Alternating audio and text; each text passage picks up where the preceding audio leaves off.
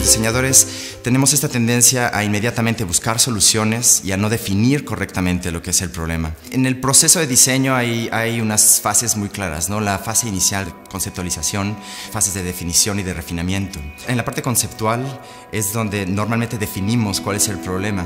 Entonces es esencialmente ahí donde tenemos que obtener toda la información y tener una visión lo más objetiva posible he trabajado con una metodología incorporando ciertas cosas del pensamiento sistémico, de la teoría de los sistemas, en la que eh, se encarga principalmente de obtener esa información de la manera más objetiva y con eso entonces primero plantear correctamente el problema.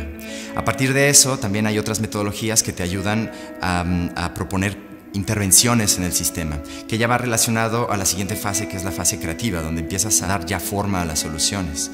Y para la última parte, la parte de refinamiento, es donde haces algunas pruebas con ah, tus usuarios o potenciales clientes, un poco como un codiseño.